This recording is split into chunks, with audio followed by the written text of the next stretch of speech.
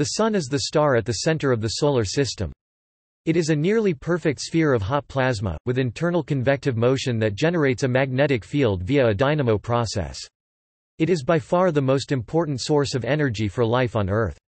Its diameter is about 1.39 million kilometers, or 109 times that of Earth, and its mass is about 330,000 times that of Earth. It accounts for about 99.86% of the total mass of the Solar System. About three-quarters of the Sun's mass consists of hydrogen approximately 73%, the rest is mostly helium approximately 25%, with much smaller quantities of heavier elements, including oxygen, carbon, neon, and iron. The Sun is a G-type main sequence star G2V based on its spectral class. As such, it is informally and not completely accurately referred to as a yellow dwarf its light is closer to white than yellow. It formed approximately 4.6 billion years ago from the gravitational collapse of matter within a region of a large molecular cloud. Most of this matter gathered in the center, whereas the rest flattened into an orbiting disk that became the Solar System. The central mass became so hot and dense that it eventually initiated nuclear fusion in its core. It is thought that almost all stars form by this process. The Sun is roughly middle-aged, it has not changed dramatically for more than 4 billion years, and will remain fairly stable for more than another 5 billion years. It currently fuses about 600 million tons of hydrogen into helium every second, converting 4 million tons of matter into energy every second as a result. This energy, which can take between 10,000 and 170,000 years to escape from its core, is the source of the Sun's light and heat. In about 5 billion years, when hydrogen fusion in its core has diminished to the point at which the Sun is no longer in hydrostatic equilibrium, its core will undergo a marked increase in density and temperature while its outer layers expand to eventually become a red giant. It is calculated that the Sun will become sufficiently large to engulf the current orbits of Mercury and Venus, and render Earth uninhabitable. After this, it will shed its outer layers and become a dense type of cooling star known as a white dwarf, and no longer produce energy by fusion, but still glow and give off heat from its previous fusion. The enormous effect of the Sun on Earth has been recognized since prehistoric times, and the Sun has been regarded by some cultures as a deity. The synodic rotation of Earth and its orbit around the Sun are the basis of solar calendars, one of which is the predominant calendar in use today.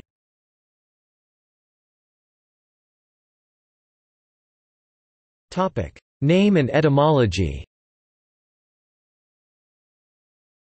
The English proper name sun developed from Old English sun and may be related to south. Cognates to English sun appear in other Germanic languages, including Old Frisian sun, Zana, Old Saxon Sunna, Middle Dutch Zana, Modern Dutch Zahn, Old High German Sunna, Modern German Zana, Old Norse Sunna, and Gothic Sunno. All Germanic terms for the sun stem from Proto-Germanic asterisk sunnen. The Latin name for the sun, sol, is used at times as another name for the sun, but is not commonly used in everyday English. Sol is also used by planetary astronomers to refer to the duration of a solar day on another planet, such as Mars. The related word solar is the usual adjectival term used for the Sun, in terms such as solar day, solar eclipse, and solar system. A mean Earth solar day is approximately 24 hours, whereas a mean Martian sol is 24 hours, 39 minutes, and 35.244 seconds. The English weekday name Sunday stems from Old English Sunnendag, sun's day, from before 700 and is ultimately a result of a Germanic interpretation of Latin dies solis, itself a translation of the Greek hemera helio, hemera helio.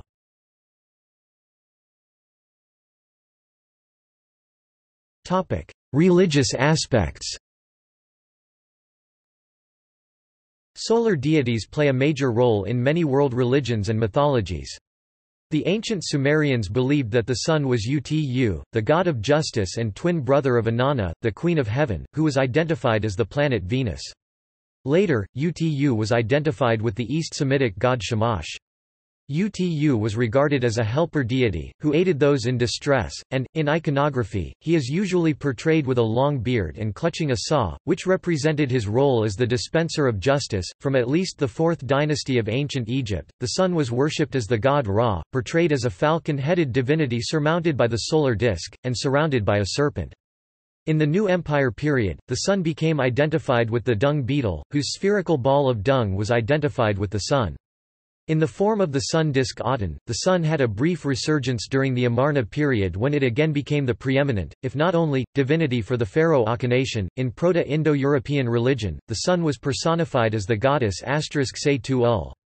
Derivatives of this goddess in Indo-European languages include the Old Norse Sol, Sanskrit Surya, Gaulish Sulis, Lithuanian Sol, and Slavic Solansi. In ancient Greek religion, the sun deity was the male god Helios, but traces of an earlier female solar deity are preserved in Helen of Troy. In later times, Helios was syncretized with Apollo. In the Bible, Malachi chapter 4 verse 2 mentions the sun of Righteousness, sometimes translated as the sun of Justice, which some Christians have interpreted as a reference to the Messiah Christ. In ancient Roman culture, Sunday was the day of the sun god. It was adopted as the Sabbath day by Christians who did not have a Jewish background. The symbol of light was a pagan device adopted by Christians, and perhaps the most important one that did not come from Jewish traditions. In paganism, the sun was a source of life, giving warmth and illumination to mankind. It was the center of a popular cult among Romans, who would stand at dawn to catch the first rays of sunshine as they prayed. The celebration of the winter solstice which influenced Christmas was part of the Roman cult of the unconquered sun Sol Invictus. Christian churches were built with an orientation so that the congregation faced toward the sunrise in the east. Tonatiuh, the Aztec god of the sun, was usually depicted holding arrows and a shield and was closely associated with the practice of human sacrifice. The sun goddess Amaterasu is the most important deity in the Shinto religion, and she is believed to be the direct ancestor of all Japanese emperors.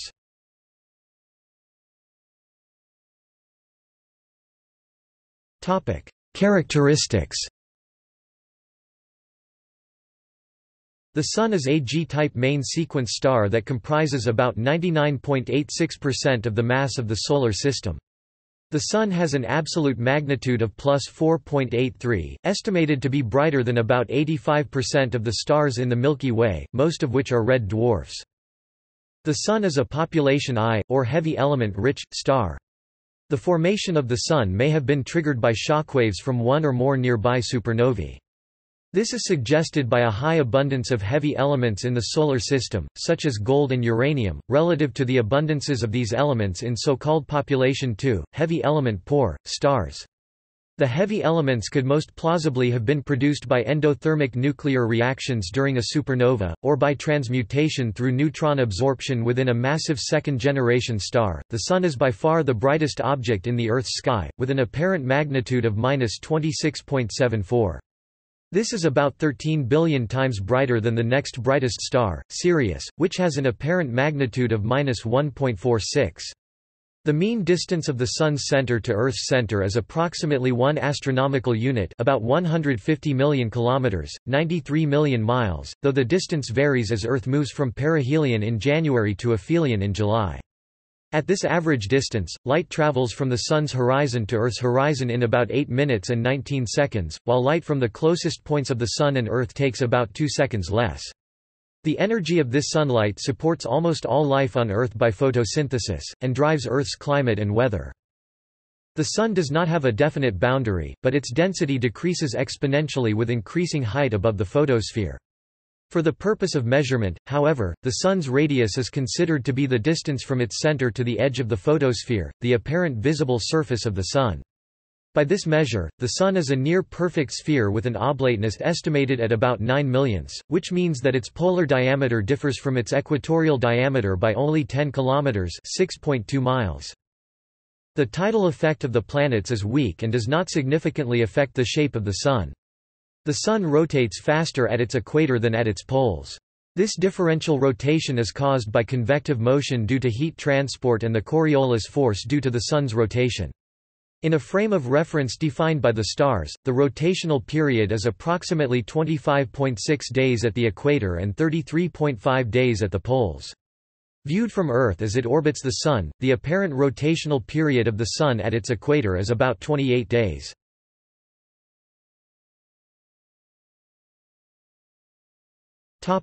Sunlight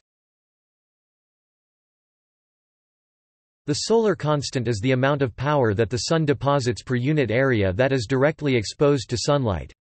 The solar constant is equal to approximately 1368 with m2 watts per square meter at a distance of 1 astronomical unit o from the sun that is on or near Earth. Sunlight on the surface of Earth is attenuated by Earth's atmosphere, so that less power arrives at the surface closer to 1000 with m2 in clear conditions when the sun is near the zenith.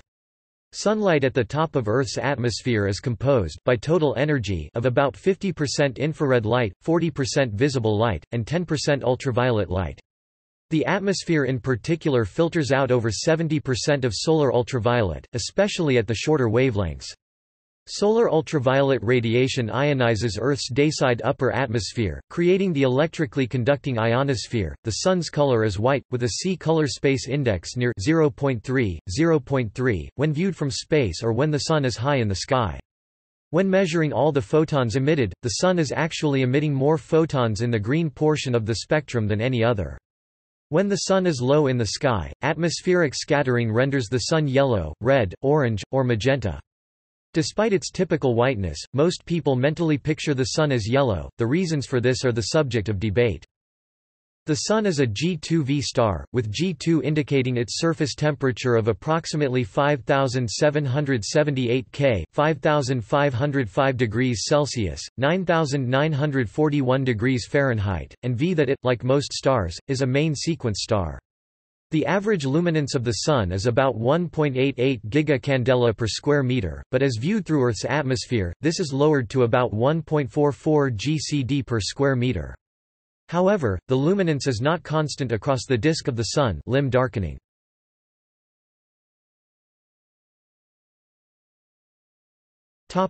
Composition The Sun is composed primarily of the chemical elements hydrogen and helium. At this time in the Sun's life, they account for 74.9% and 23.8% of the mass of the Sun in the photosphere, respectively.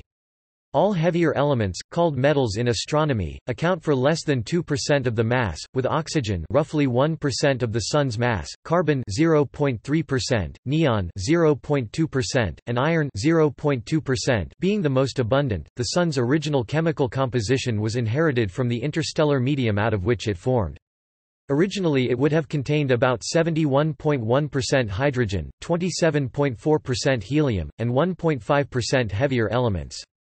The hydrogen and most of the helium in the Sun would have been produced by Big Bang nucleosynthesis in the first 20 minutes of the universe, and the heavier elements were produced by previous generations of stars before the Sun was formed, and spread into the interstellar medium during the final stages of stellar life and by events such as supernovae. Since the Sun formed, the main fusion process has involved fusing hydrogen into helium. Over the past 4.6 billion years, the amount of helium and its location within the Sun has gradually changed. Within the core, the proportion of helium has increased from about 24% to about 60% due to fusion, and some of the helium and heavy elements have settled from the photosphere towards the center of the Sun because of gravity. The proportions of metals heavier elements is unchanged. Heat is transferred outward from the Sun's core by radiation rather than by convection see radiative zone below, so the fusion products are not lifted outward by heat, they remain in the core and gradually an inner core of helium has begun to form that cannot be fused because presently the Sun's core is not hot or dense enough to fuse helium. In the current photosphere the helium fraction is reduced, and the metallicity is only 84% of what it was in the protostellar phase before nuclear fusion in the core started. In the future, helium will continue to accumulate in the core, and in about 5 billion years this gradual buildup will eventually cause the Sun to exit the main sequence and become a red giant. The chemical composition of the photosphere is normally considered representative of the composition of the primordial solar system. The solar heavy element abundances described above are typically measured both using spectroscopy of the Sun's photosphere and by measuring abundances in meteorites that have never been heated to melting temperatures. These meteorites are thought to retain the composition of the protostellar Sun and are thus not affected by settling of heavy elements. The two methods generally agree well.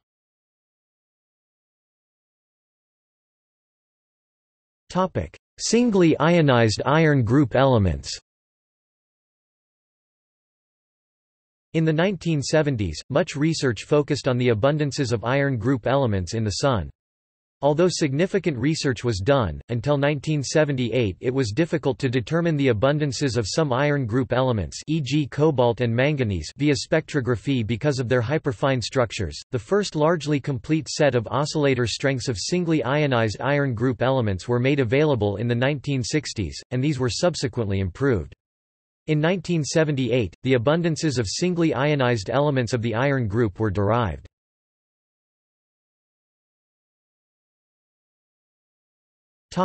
Isotopic composition Various authors have considered the existence of a gradient in the isotopic compositions of solar and planetary noble gases, e.g. correlations between isotopic compositions of neon and xenon in the Sun and on the planets. Prior to 1983, it was thought that the whole Sun has the same composition as the solar atmosphere. In 1983, it was claimed that it was fractionation in the Sun itself that caused the isotopic composition relationship between the planetary and solar wind implanted noble gases.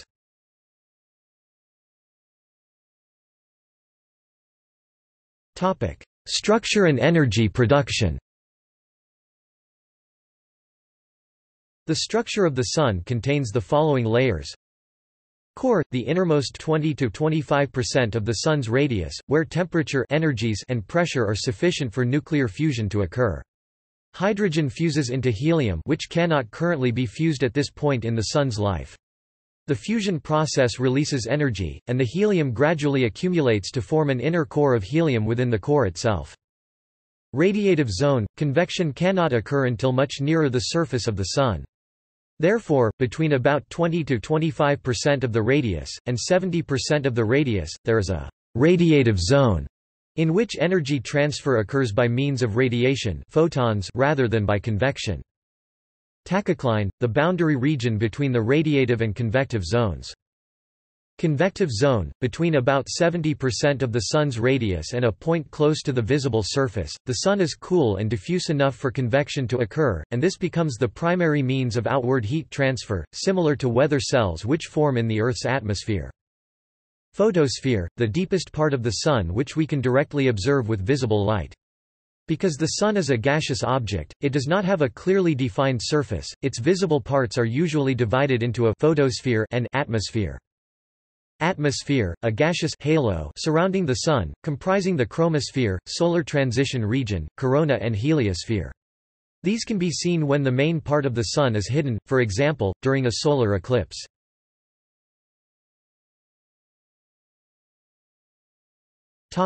Core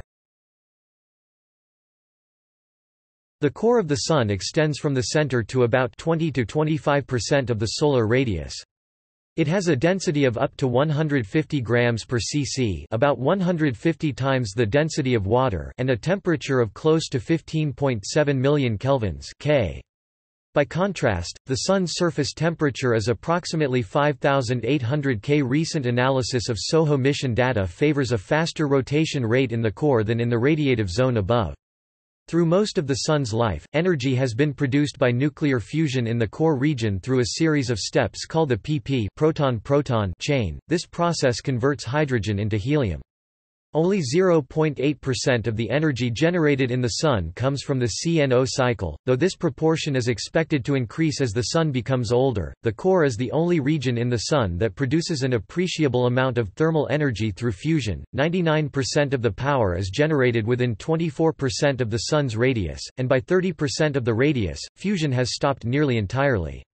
The remainder of the Sun is heated by this energy as it is transferred outwards through many successive layers, finally to the solar photosphere where it escapes into space as sunlight or the kinetic energy of particles. The proton-proton chain occurs around 9.2 times 1037 times each second in the core, converting about 3.7 times 1038 protons into alpha particles, helium nuclei, every second out of a total of approximately 8.9 times 1056 free protons in the Sun or about 6.2 times 1011 kg per second.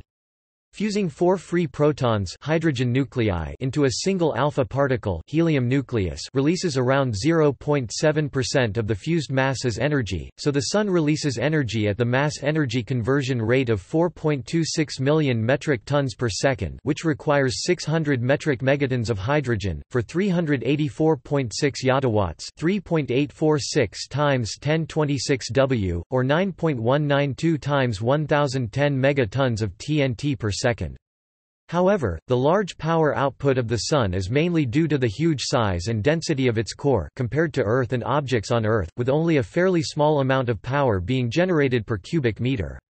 Theoretical models of the Sun's interior indicate a power density, or energy production, of approximately 276.5 watts per cubic meter, which is about the same rate of power production as takes place in reptile metabolism or a compost pile. The fusion rate in the core is in a self-correcting equilibrium. A slightly higher rate of fusion would cause the core to heat up more and expand slightly against the weight of the outer layers, reducing the density and hence the fusion rate and correcting the perturbation, and a slightly lower rate would cause cause the core to cool and shrink slightly, increasing the density and increasing the fusion rate and again reverting it to its present rate.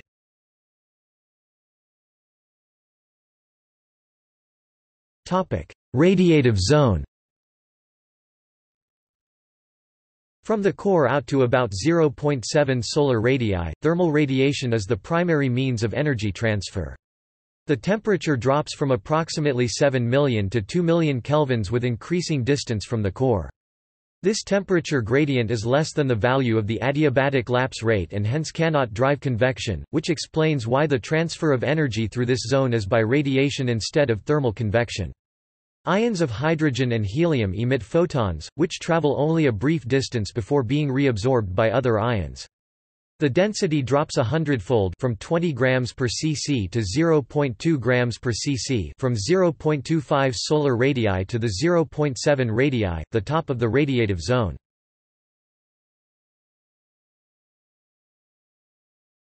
Topic: Tachocline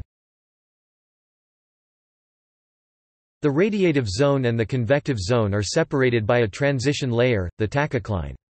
This is a region where the sharp regime change between the uniform rotation of the radiative zone and the differential rotation of the convection zone results in a large shear between the two—a condition where successive horizontal layers slide past one another. Presently, it is hypothesized see solar dynamo that a magnetic dynamo within this layer generates the Sun's magnetic field.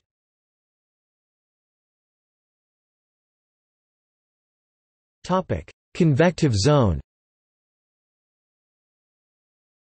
The Sun's convection zone extends from 0.7 solar radii 500,000 km to near the surface. In this layer, the solar plasma is not dense enough or hot enough to transfer the heat energy of the interior outward via radiation. Instead, the density of the plasma is low enough to allow convective currents to develop and move the Sun's energy outward towards its surface. Material heated at the tachocline picks up heat and expands, thereby reducing its density and allowing it to rise. As a result, an orderly motion of the mass develops into thermal cells that carry the majority of the heat outward to the Sun's photosphere above. Once the material diffusively and radiatively cools just beneath the photospheric surface, its density increases, and it sinks to the base of the convection zone, where it again picks up heat from the top of the radiative zone and the convective cycle continues. At the photosphere, the temperature has dropped to 5700 K and the density to only 0.2 grams per cubic meter, about 1 6000th the density of air at sea level. The thermal columns of the convection zone form an imprint on the surface of the sun giving it a granular appearance called the solar granulation at the smallest scale and supergranulation at larger scales. Turbulent convection in this outer part of the solar interior sustains small scale Dynamo action over the near-surface volume of the Sun. The Sun's thermal columns are Bénard cells and take the shape of hexagonal prisms.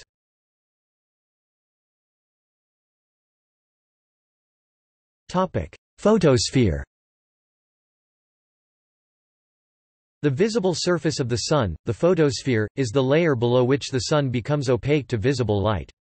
Above the photosphere visible sunlight is free to propagate into space, and almost all of its energy escapes the Sun entirely. The change in opacity is due to the decreasing amount of H- ions, which absorb visible light easily. Conversely, the visible light we see is produced as electrons react with hydrogen atoms to produce H- ions. The photosphere is tens to hundreds of kilometers thick, and is slightly less opaque than air on Earth.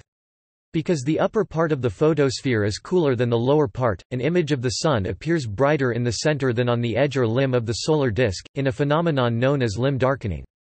The spectrum of sunlight has approximately the spectrum of a black body radiating at 5777 K, interspersed with atomic absorption lines from the tenuous layers above the photosphere.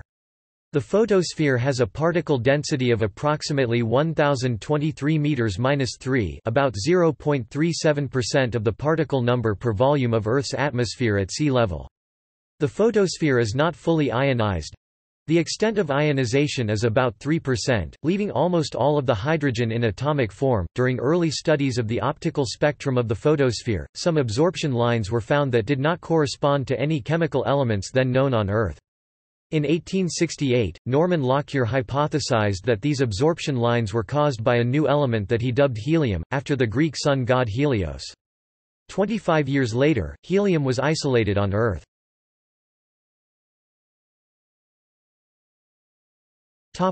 Atmosphere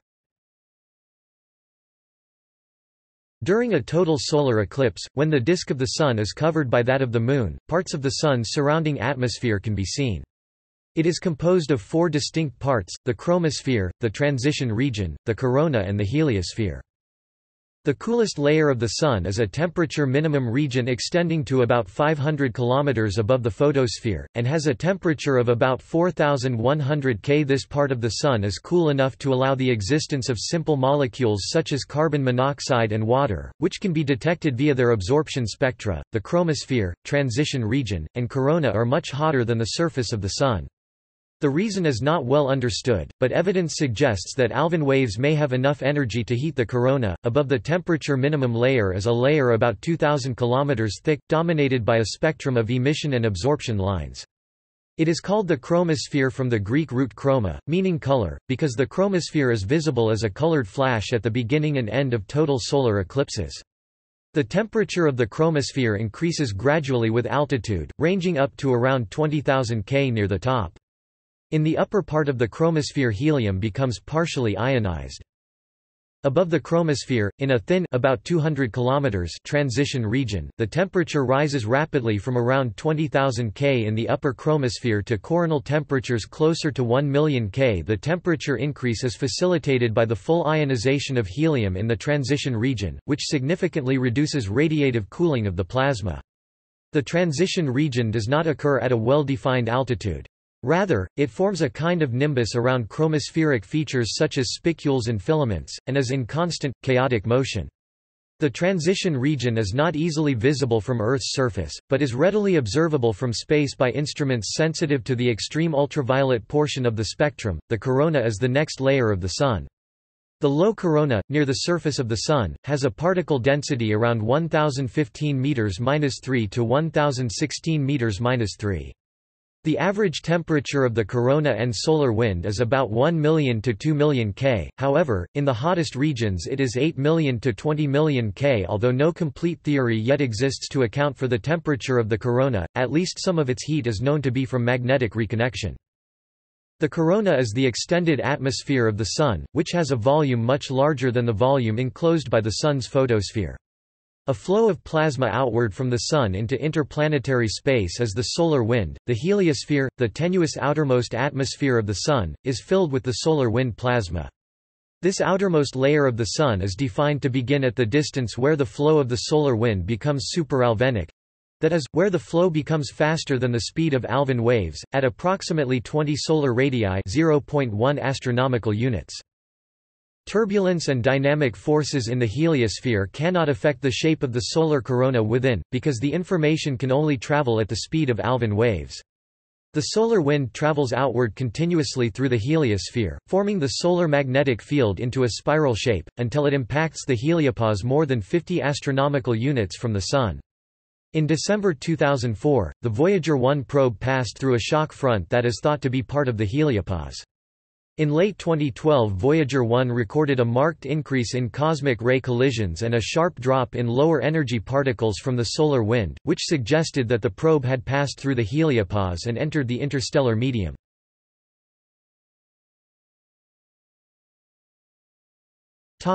Photons and neutrinos High-energy gamma-ray photons initially released with fusion reactions in the core are almost immediately absorbed by the solar plasma of the radiative zone, usually after traveling only a few millimeters. Re-emission happens in a random direction and usually at a slightly lower energy. With this sequence of emissions and absorptions, it takes a long time for radiation to reach the Sun's surface. Estimates of the photon travel time range between 10,000 and 170,000 years.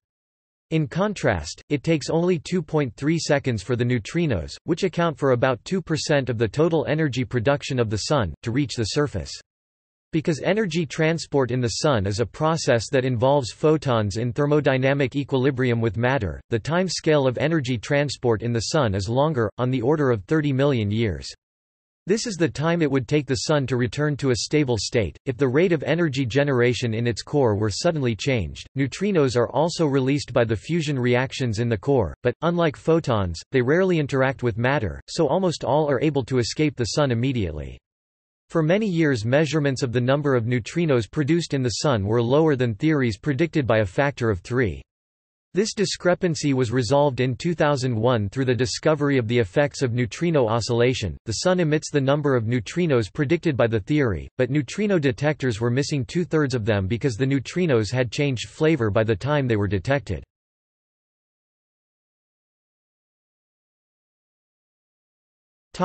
Magnetism and activity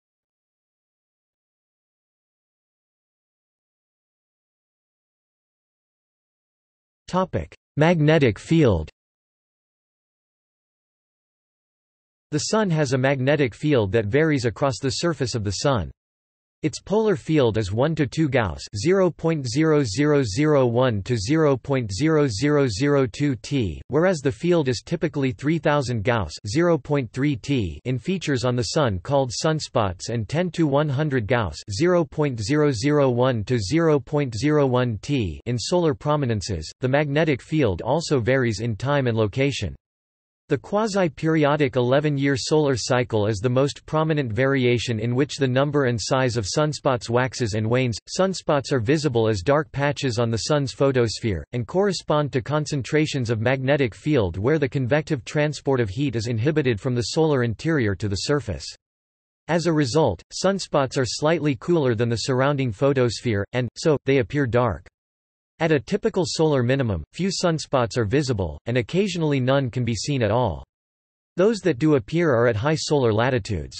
As the solar cycle progresses towards its maximum, sunspots tend form closer to the solar equator, a phenomenon known as Sporer's law. The largest sunspots can be tens of thousands of kilometers across. An 11-year sunspot cycle is half of a 22-year Babcock-Leighton dynamo cycle, which corresponds to an oscillatory exchange of energy between toroidal and poloidal solar magnetic fields. At solar cycle maximum, the external poloidal dipolar magnetic field is near its dynamo cycle minimum strength, but an internal toroidal quadrupolar field, generated through differential rotation within the tachocline, is near its maximum strength. At this point in the dynamo cycle, buoyant upwelling within the convective zone forces emergence of toroidal magnetic field through the photosphere, giving rise to pairs of sunspots, roughly aligned east-west and having footprints with opposite magnetic polarities. The magnetic polarity of sunspot pairs alternates every solar cycle, a phenomenon known as the Hale cycle. During the solar cycle's declining phase, energy shifts from the internal toroidal magnetic field to the external poloidal field, and sunspots diminish in number and size. At solar cycle minimum, the toroidal field is, correspondingly, at minimum strength, sunspots are relatively rare, and the poloidal field is at its maximum strength. With the rise of the next 11-year sunspot cycle, differential rotation shifts magnetic energy back from the poloidal to the toroidal field, but with a polarity that is opposite to the previous cycle. The process carries on continuously, and in an idealized, simplified scenario, each 11-year sunspot cycle corresponds to a change, then, in the overall polarity of the Sun's large-scale magnetic field, the solar magnetic field extends well beyond the Sun itself. The electrically conducting solar wind plasma carries the Sun's magnetic field into space, forming what is called the interplanetary magnetic field. In an approximation known as ideal magnetohydrodynamics, plasma particles only move along the magnetic field lines. As a result, the outward flowing solar wind stretches the interplanetary magnetic field outward, forcing it into a roughly radial structure. For a simple dipolar solar magnetic field, with opposite hemispherical polarities on either side of the solar magnetic equator, a thin current sheet is formed in the solar wind. At great distances, the rotation of the Sun twists the dipolar magnetic field and corresponding current sheet into an Archimedean spiral structure called the Parker spiral. The interplanetary magnetic field is much stronger than the dipole component of the solar magnetic field. The Sun's dipole magnetic field of 50 to 400 μt at the photosphere reduces with the inverse cube of the distance to about 0.1 nt at the distance of Earth. However, according to spacecraft observations the interplanetary field at Earth's location is around 5 nt, about a hundred times greater. The difference is due to magnetic fields generated by electrical currents in the plasma surrounding the Sun.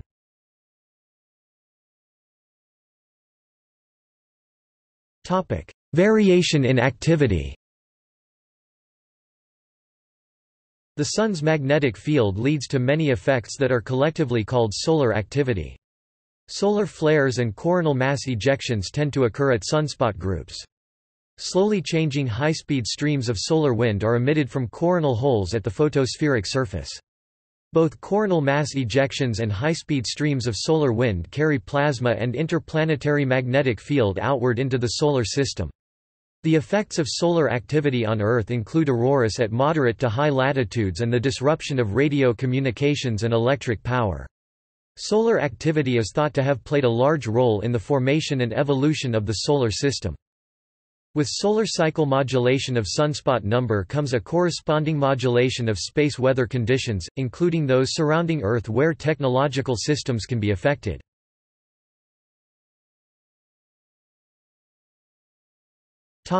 Long-term change Long-term secular change in sunspot number is thought, by some scientists, to be correlated with long-term change in solar irradiance, which, in turn, might influence Earth's long-term climate. For example, in the 17th century, the solar cycle appeared to have stopped entirely for several decades. Few sunspots were observed during a period known as the Maunder minimum. This coincided in time with the era of the Little Ice Age, when Europe experienced unusually cold temperatures. Earlier extended minima have been discovered through analysis of tree rings and appear to have coincided with lower than average global temperatures. A recent theory claims that there are magnetic instabilities in the core of the Sun that cause fluctuations with periods of either 41,000 or 100,000 years.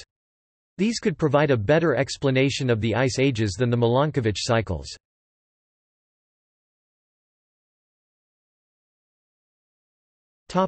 Life phases The Sun today is roughly halfway through the most stable part of its life. It has not changed dramatically for over 4 billion years, and will remain fairly stable for more than 5 billion more. However, after hydrogen fusion in its core has stopped, the Sun will undergo dramatic changes, both internally and externally.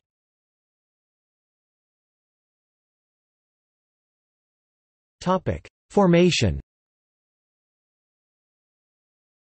The Sun formed about 4.6 billion years ago from the collapse of part of a giant molecular cloud that consisted mostly of hydrogen and helium and that probably gave birth to many other stars. This age is estimated using computer models of stellar evolution and through nucleocosmochronology. The result is consistent with the radiometric date of the oldest Solar System material, at 4.567 billion years ago.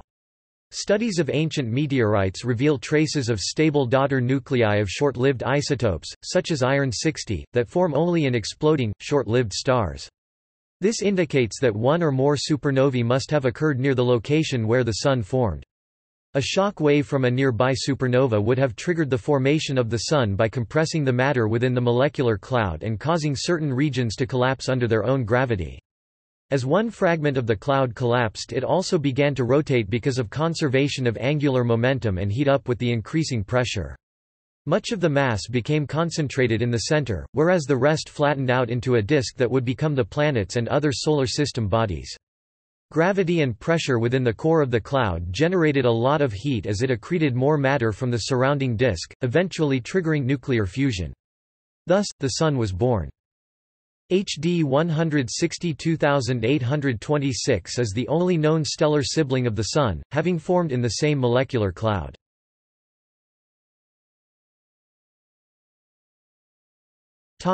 Main sequence The Sun is about halfway through its main sequence stage, during which nuclear fusion reactions in its core fuse hydrogen into helium. Each second, more than 4 million tons of matter are converted into energy within the Sun's core, producing neutrinos and solar radiation. At this rate, the Sun has so far converted around 100 times the mass of Earth into energy, about 0.03% of the total mass of the Sun. The Sun will spend a total of approximately 10 billion years as a main sequence star. The Sun is gradually becoming hotter during its time on the main sequence, because the helium atoms in the core occupy less volume than the hydrogen atoms that were fused. The core is therefore shrinking, allowing the outer layers of the Sun to move closer to the center and experience a stronger gravitational force, according to the inverse square law. This stronger force increases the pressure on the core, which is resisted by a gradual increase in the rate at which fusion occurs. This process speeds up as the core gradually becomes denser. It is estimated that the Sun has become 30% brighter in the last 4.5 billion years. At present, it is increasing in brightness by about 1% every 100 million years.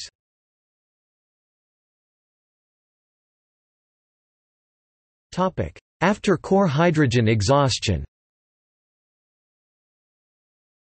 The Sun does not have enough mass to explode as a supernova.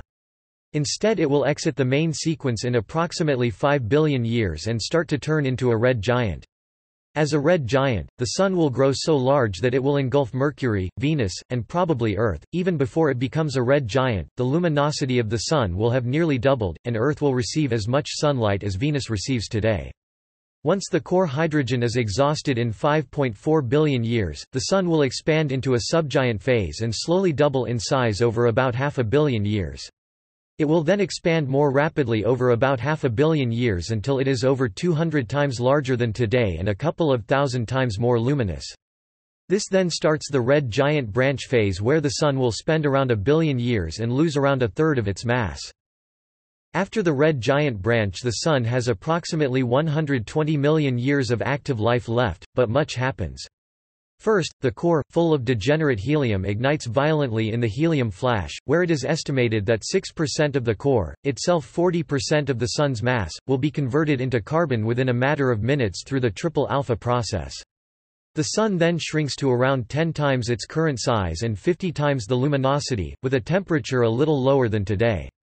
It will then have reached the red clump or horizontal branch, but a star of the Sun's mass does not evolve blueward along the horizontal branch.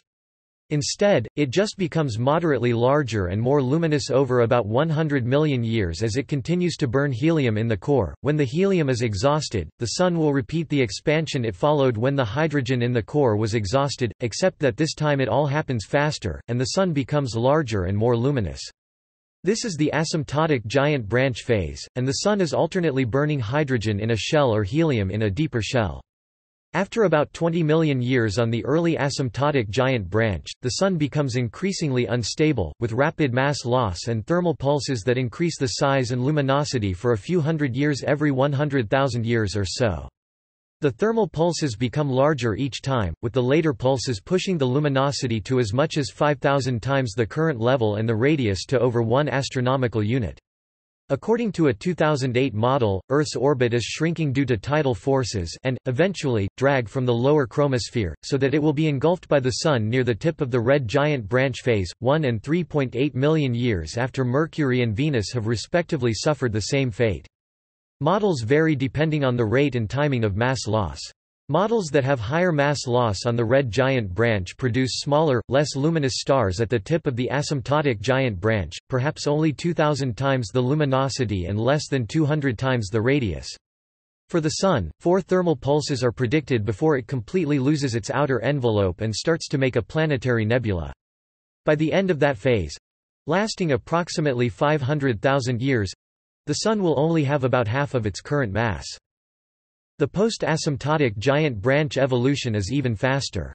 The luminosity stays approximately constant as the temperature increases, with the ejected half of the Sun's mass becoming ionized into a planetary nebula as the exposed core reaches 30,000 K. The final naked core, a white dwarf, will have a temperature of over 100,000 K, and contain an estimated 54.05% of the Sun's present-day mass.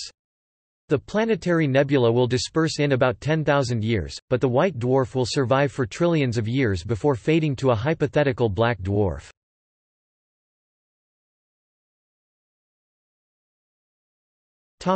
Motion and location The Sun lies close to the inner rim of the Milky Way's Orion Arm, in the local interstellar cloud or the Gould Belt, at a distance of 7.5 to 8.5 kpc 25,000 to 28,000 light-years from the galactic center. The Sun is contained within the local bubble, a space of rarefied hot gas, possibly produced by the supernova remnant Geminga, or multiple supernovae in subgroup B1 of the Pleiades moving group. The distance between the local arm and the next arm out, the Perseus arm, is about 6,500 light-years.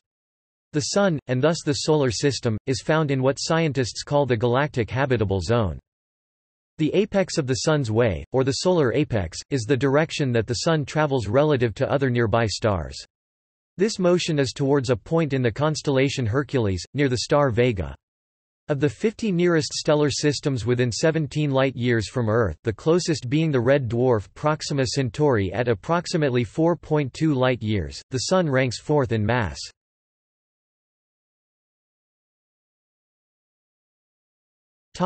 Orbit in Milky Way The Sun orbits the center of the Milky Way, and it is presently moving in the direction of the constellation of Cygnus. A simple model of the motion of a star in the galaxy gives the galactic coordinates x, y, and z as x t equals x 0 plus u 0 kappa sin kappa t plus v 0 2 b 1 minus cos kappa t Display style x t equals x zero plus frac u zero kappa sin kappa t plus frac v zero two b one cos kappa t y t equals y zero plus two a x 0 plus v 0 2 b t minus omega 0 b kappa v 0 sin kappa t plus 2 omega 0 kappa 2 u 0 1 minus cos kappa t Display style y t equals y zero plus two a left x zero plus frac v zero two b right t frac omega underscore zero b kappa v zero sin kappa t plus frac two omega underscore zero kappa caret two u zero one cos kappa t z t equals w zero nu sin nu t plus z 0 cos nu t Display style z t equals frac w 0 nu sin nu t plus z 0 cos nu t, where u, v, and w are the respective velocities with respect to the local standard of rest. A and b are the Oort constants. Omega 0 equals a minus b. Display style omega underscore 0 equals ab is the angular velocity of galactic rotation for the local standard of rest. Kappa equals minus 4 omega 0 b display style kappa equals sqrt minus 4 omega underscore 0 b is the epicyclic frequency and nu is the vertical oscillation frequency. For the Sun, the present values of u, v, and w are estimated as u 0 v 0 w 0 equals 10.00 5.25 7.17 Display style U zero V zero W zero equals ten point zero zero five point two five seven seventeen kilometer per second, and estimates for the other constants are a. Topic fifteen point five kilometers per second, kpc b. minus 12.2 km per second, kpc, kappa equals 37 km per second, kpc, and nu equals 74 km per second, kpc. We take x 0 and y 0 to be 0 and z 0 is estimated to be 17 parsecs. This model implies that the Sun circulates around a point that is itself going around the galaxy. The period of the Sun's circulation around the point is 2 pi kappa display style 2 pi kappa which using the equivalence that a parsec equals 1 km per second times 0.978 million years comes to 166 million years shorter than the time it takes for the point to go around the galaxy. In the x y coordinates the sun describes an ellipse around the point whose length in the y direction is 2 times 2 omega 0 kappa 2 u 0 2 plus omega 0 b kappa v 0 2 equals 1035 parsec Display style two times sqrt left frac 2 omega underscore zero kappa caret two u zero right caret two plus left frac omega underscore zero b kappa v zero right caret two equals 1035 text parsec, and whose width in the x direction is two times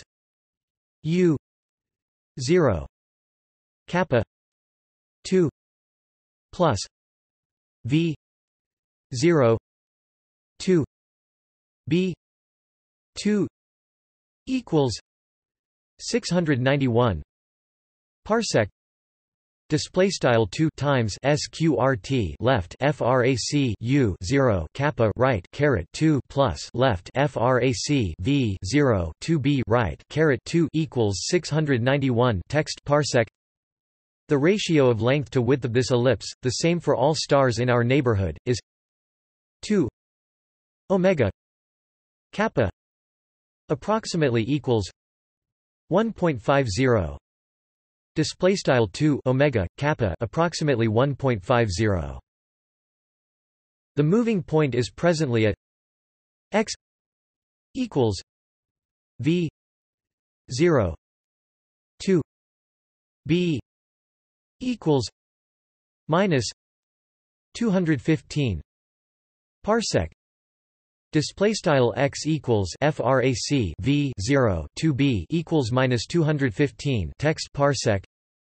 Y equals 2 omega 0 kappa 2 u 0 equals 405 Parsec. Display style y equals frac 2 omega underscore 0 kappa caret 2 u 0 equals 405 text parsec. The oscillation in the z direction takes the Sun. W 0 nu 2 plus z 0 2 equals 98 parsec Display style sqrt left frac w 0 nu right caret 2 plus z 0 caret 2 equals 98 text parsec. Above the galactic plane and the same distance below it with a period of 2 pi nu display style 2 pi nu or 83 million years approximately 2.7 times per orbit.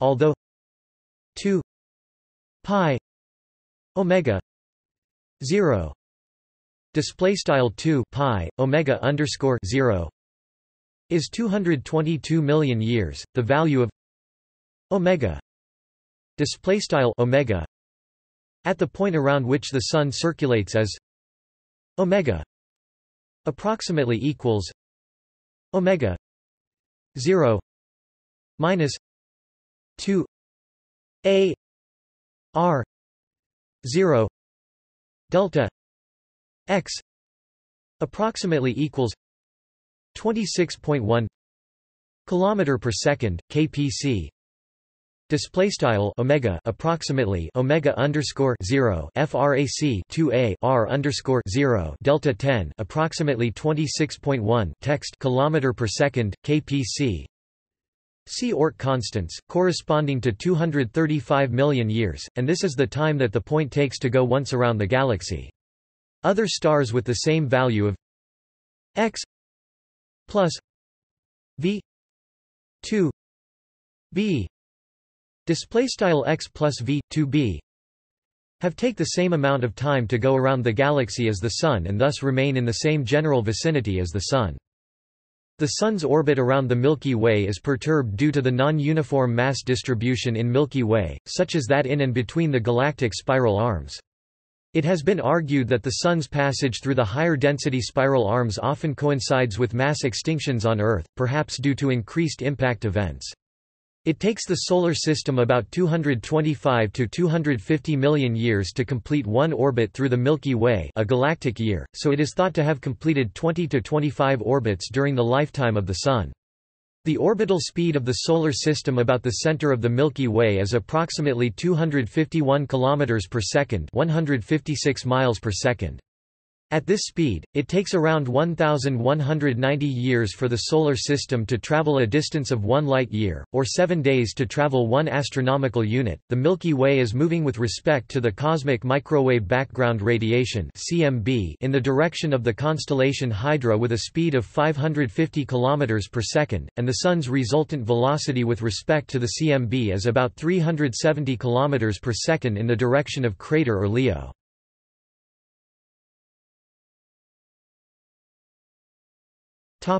Theoretical problems.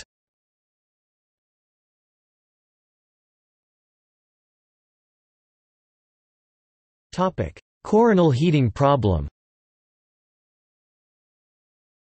The temperature of the photosphere is approximately 6000 K, whereas the temperature of the corona reaches 1 million to 2 million K. The high temperature of the corona shows that it is heated by something other than direct heat conduction from the photosphere. It is thought that the energy necessary to heat the corona is provided by turbulent motion in the convection zone below the photosphere, and two main mechanisms have been proposed to explain coronal heating. The first is wave heating, in which sound, gravitational or magnetohydrodynamic waves are produced by turbulence in the convection zone. These waves travel upward and dissipate in the corona, depositing their energy in the ambient matter in the form of heat. The other is magnetic heating, in which magnetic energy is continuously built up by photospheric motion and released through magnetic reconnection in the form of large solar flares and myriad similar but smaller events. Nanoflares. Currently, it is unclear whether waves are an efficient heating mechanism. All waves except Alfvén waves have been found to dissipate or refract before reaching the corona. In addition, Alfvén waves do not easily dissipate in the corona. Current research focus has therefore shifted towards flare heating mechanisms.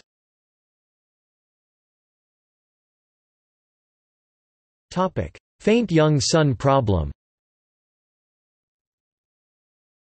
Theoretical models of the Sun's development suggest that 3.8 to 2.5 billion years ago, during the Archean eon, the Sun was only about 75% as bright as it is today.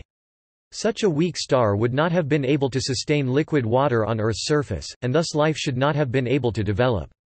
However, the geological record demonstrates that Earth has remained at a fairly constant temperature throughout its history, and that the young Earth was somewhat warmer than it is today. One theory among scientists is that the atmosphere of the young Earth contained much larger quantities of greenhouse gases such as carbon dioxide, methane than are present today, which trapped enough heat to compensate for the smaller amount of solar energy reaching it. However, examination of Archean sediments appears inconsistent with the hypothesis of high greenhouse concentrations. Instead, the moderate temperature range may be explained by a lower surface albedo brought about by less continental area and the lack of biologically induced cloud condensation nuclei. This would have led to increased absorption of solar energy, thereby compensating for the lower solar output.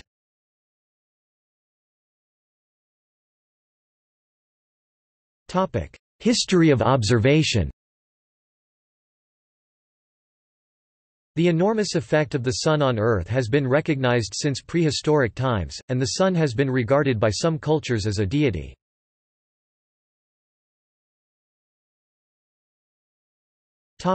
Early understanding The Sun has been an object of veneration in many cultures throughout human history. Humanity's most fundamental understanding of the Sun is as the luminous disk in the sky, whose presence above the horizon creates day and whose absence causes night. In many prehistoric and ancient cultures, the Sun was thought to be a solar deity or other supernatural entity. Worship of the sun was central to civilizations such as the ancient Egyptians, the Inca of South America and the Aztecs of what is now Mexico.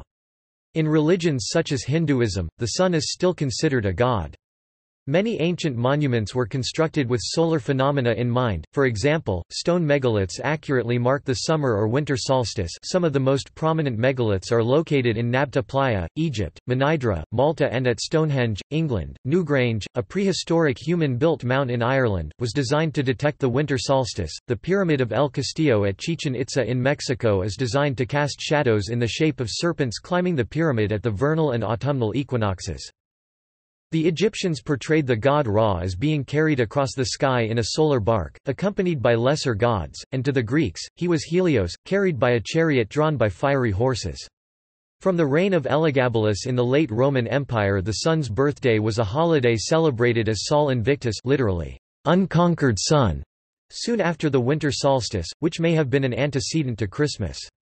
Regarding the fixed stars, the Sun appears from Earth to revolve once a year along the ecliptic through the zodiac, and so Greek astronomers categorized it as one of the seven planets Greek planet, wanderer.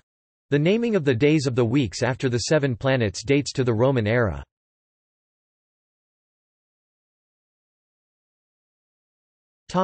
Development of scientific understanding In the early 1st millennium BC, Babylonian astronomers observed that the Sun's motion along the ecliptic is not uniform, though they did not know why. It is today known that this is due to the movement of Earth in an elliptic orbit around the Sun, with Earth moving faster when it is nearer to the Sun at perihelion and moving slower when it is farther away at aphelion. One of the first people to offer a scientific or philosophical explanation for the Sun was the Greek philosopher Anaxagoras. He reasoned that it was not the chariot of Helios, but instead a giant flaming ball of metal even larger than the land of the Peloponnesus and that the moon reflected the light of the sun. For teaching this heresy, he was imprisoned by the authorities and sentenced to death, though he was later released through the intervention of Pericles. Eratosthenes estimated the distance between Earth and the Sun in the 3rd century BC as of stadia myriads 480,000 the translation of which is ambiguous, implying either 4,080,000 stadia, 755,000 kilometers, or 804 million stadia, 148 to 153 million kilometers, or 0.99 to 1.02 astronomical units. The latter value is correct to within a few percent. In the 1st century AD, Ptolemy estimated the distance as 1210 times the radius of Earth, approximately 7.71 million kilometers, 0.0515 astronomical units. The theory that the sun is the center around which the planet's orbit was first proposed by the ancient Greek Aristarchus of Samos in the 3rd century BC and later adopted by Seleucus of Seleucia. See heliocentrism. This view was developed in a more detailed mathematical model of a heliocentric system in the 16th century by Nicolaus Copernicus. Observations of sunspots were recorded during the Han Dynasty 206 BC AD 220 by Chinese astronomers, who maintained records of these observations for centuries. Averroes also provided a description of sunspots in the 12th century. The invention of the telescope in the early 17th century permitted detailed observations of sunspots by Thomas Harriot, Galileo Galilei and other astronomers. Galileo posited that sunspots were on the surface of the Sun rather than small objects passing between Earth and the Sun. Arabic astronomical contributions include Albategni's discovery that the direction of the Sun's apogee the place in the Sun's orbit against the fixed stars where it seems to be moving slowest is changing. In modern heliocentric terms, this is caused by a gradual motion of the aphelion of the Earth's orbit. Ibn Yunus observed more than 10,000 entries for the Sun's position for many years using a large astrolabe.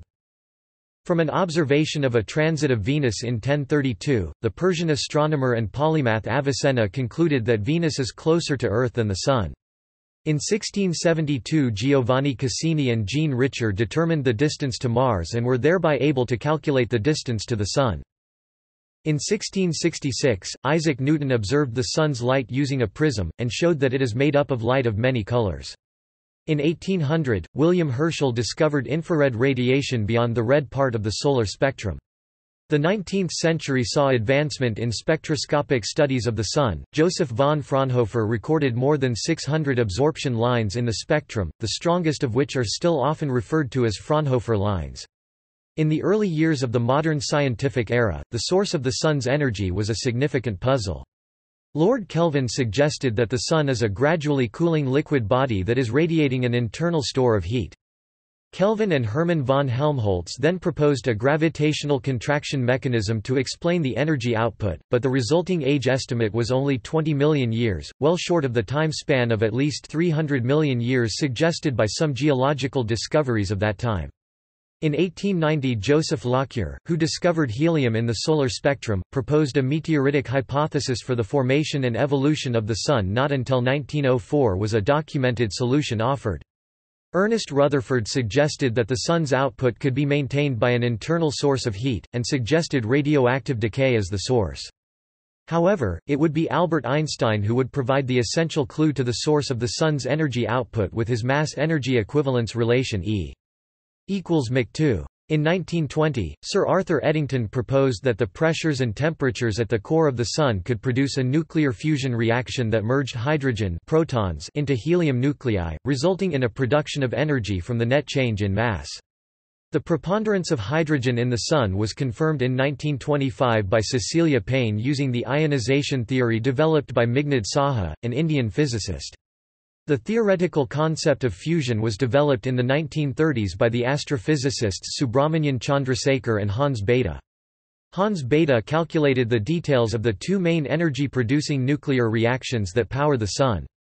In 1957, Margaret Burbidge, Geoffrey Burbidge, William Fowler and Fred Hoyle showed that most of the elements in the universe have been synthesized by nuclear reactions inside stars, some like the Sun.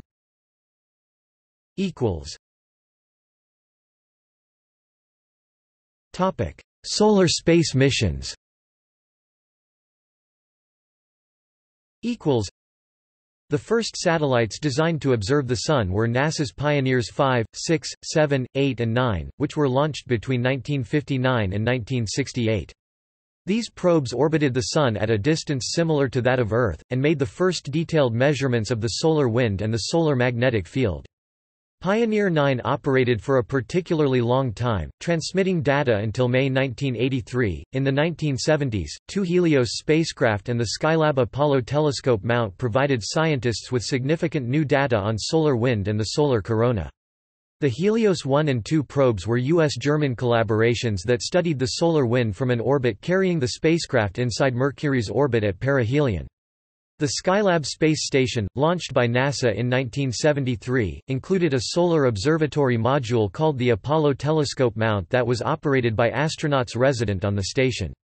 Skylab made the first time resolved observations of the solar transition region and of ultraviolet emissions from the solar corona. Discoveries included the first observations of coronal mass ejections, then called coronal transients, and of coronal holes, now known to be intimately associated with the solar wind. In 1980, the Solar Maximum mission was launched by NASA. This spacecraft was designed to observe gamma rays, X-rays and UV radiation from solar flares during a time of high solar activity and solar luminosity. Just a few months after launch, however, an electronics failure caused the probe to go into standby mode, and it spent the next three years in this inactive state. In 1984 Space Shuttle Challenger mission STS-41C retrieved the satellite and repaired its electronics before re-releasing it into orbit. The Solar Maximum mission subsequently acquired thousands of images of the solar corona before re-entering Earth's atmosphere in June 1989. Launched in 1991, Japan's Yohkoh Sunbeam satellite observed solar flares at X-ray wavelengths. Mission data allowed scientists to identify several different types of flares, and demonstrated that the corona away from regions of peak activity was much more dynamic and active than had previously been supposed. Yohkoh observed an entire solar cycle but went into standby mode when an annular eclipse in 2001 caused it to lose its lock on the Sun. It was destroyed by atmospheric reentry in 2005. One of the most important solar missions to date has been the Solar and Heliospheric Observatory, jointly built by the European Space Agency and NASA and launched on 2 December 1995. Originally intended to serve a two-year mission, a mission extension through 2012 was approved in October 2009. It has proven so useful that a follow-on mission, the Solar Dynamics Observatory (SDO), was launched in February 2010.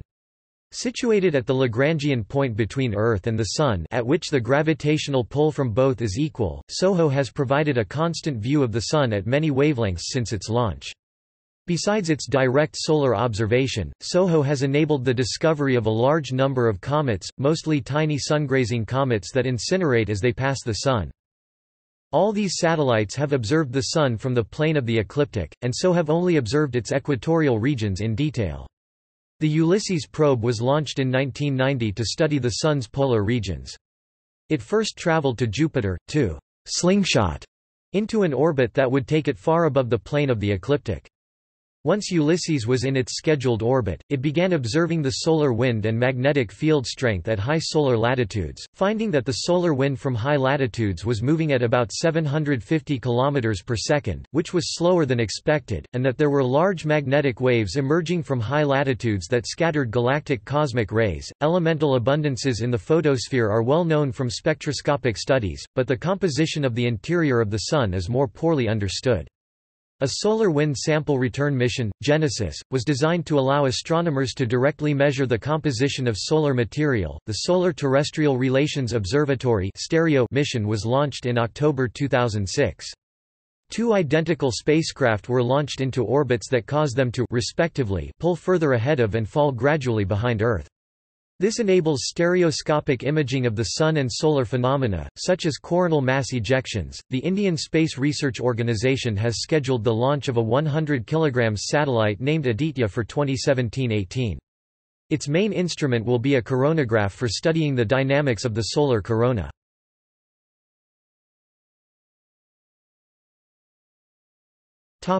Observation and effects The brightness of the Sun can cause pain from looking at it with the naked eye, however, doing so for brief periods is not hazardous for normal non-dilated eyes. Looking directly at the Sun causes phosphene visual artifacts and temporary partial blindness.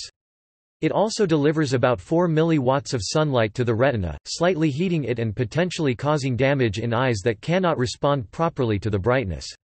UV exposure gradually yellows the lens of the eye over a period of years, and is thought to contribute to the formation of cataracts, but this depends on general exposure to solar UV, and not whether one looks directly at the sun.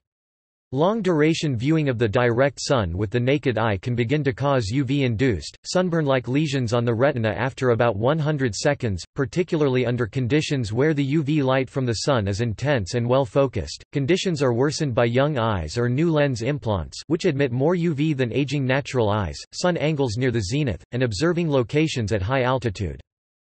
Viewing the sun through light-concentrating optics such as binoculars may result in permanent damage to the retina without an appropriate filter that blocks UV and substantially dims the sunlight. When using an attenuating filter to view the sun, the viewer is cautioned to use a filter specifically designed for that use. Some improvised filters that pass UV or IR rays, can actually harm the eye at high brightness levels. Herschel wedges, also called solar diagonals, are effective and inexpensive for small telescopes. The sunlight that is destined for the eyepiece is reflected from an unsilvered surface of a piece of glass. Only a very small fraction of the incident light is reflected. The rest passes through the glass and leaves the instrument. If the glass breaks because of the heat, no light at all is reflected, making the device fail-safe. Simple filters made of darkened glass allow the full intensity of sunlight to pass through if they break, endangering the observer's eyesight. Unfiltered binoculars can deliver hundreds of times as much energy as using the naked eye, possibly causing immediate damage. It is claimed that even brief glances at the midday sun through an unfiltered telescope can cause permanent damage. Partial solar eclipses are hazardous to view because the eye's pupil is not adapted to the unusually high visual contrast. The pupil dilates according to the total amount of light in the field of view, not by the brightest object in the field. During partial eclipses most sunlight is blocked by the moon passing in front of the sun, but the uncovered parts of the photosphere have the same surface brightness as during a normal day. In the overall gloom, the pupil expands from approximately 2 mm to approximately 6 mm, and each retinal cell exposed to the solar image receives up to 10 times more light than it would looking at the non-eclipsed sun. This can damage or kill those cells, resulting in small permanent blind spots for the viewer. The hazard is insidious for inexperienced observers and for children, because there is no perception of pain, it is not immediately obvious that one's vision is being destroyed.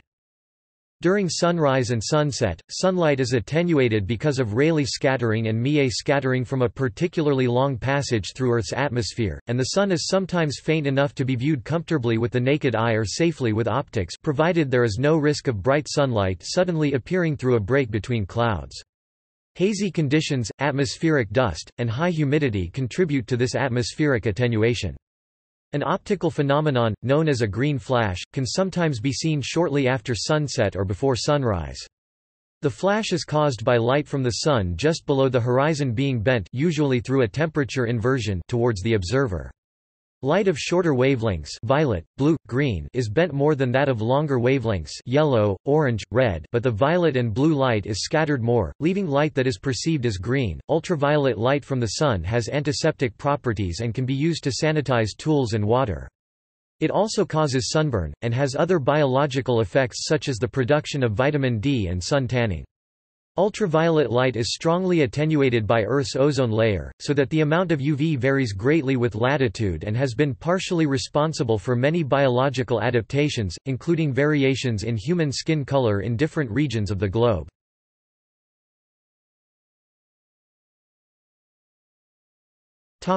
Planetary system The Sun has eight known planets.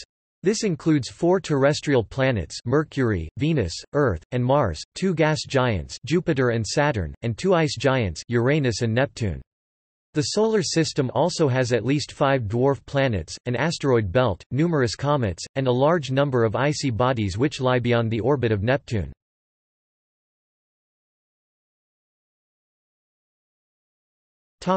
See also Notes